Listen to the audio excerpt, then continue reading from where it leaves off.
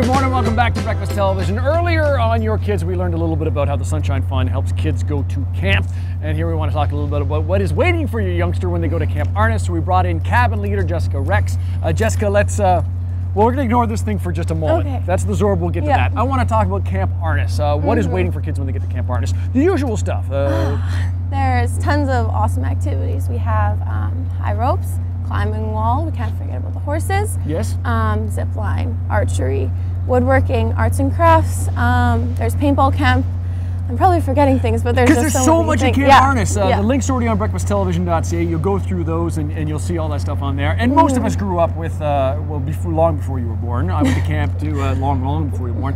And there was the, the canoeing and the kayaking Oh, and things like that. yeah, But forgot camp is that. so much more these days. We were also talking earlier about the, uh, the benefit of going to camp. Uh, as a cabin leader, how have you seen kids change at their time at camp? Well, as a cabin leader, um, lots of the time when we're welcoming kids as they come off the bus, you'll see them um, really shy, like not even looking up and just kind of keeping to themselves. Um, And then by the time Saturday comes around, um, and as they're going home, you see them crying and hugging all their cabin mates and not wanting to go home. So just the transformation of being shy and um, not really wanting to reach out of their bubble, and then seeing them not wanting to leave is just such an encouragement. When we when we awesome. challenge our kids, they can come up with amazing, Yes, amazing yeah. things. Now, you as a as a counselor, I'm assuming you went all the way through the ranks. You started as a young camper. yourself? Yes, I actually started going to Camp Arnes when I was eight, um, and now I'm 18, so I've been going to camp for 10 years, and I've just moved my way up. And it's just awesome being counselor and encouraging the kids that come to camp every week, as my counselors encouraged me when I was younger. So why do you come back? Uh, why is it so special to you?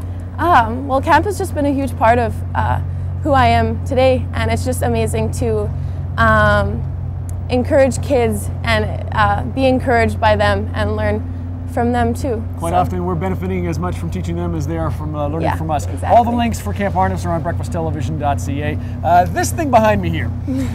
This is a Zorb. This Yes, is Zorbing. this is a So Zorb. This is little uh, something of what Camp Arnes does. Yes, um, it's kind of like a giant hamster ball. So you can put like two people in at one time or just one person in at one time.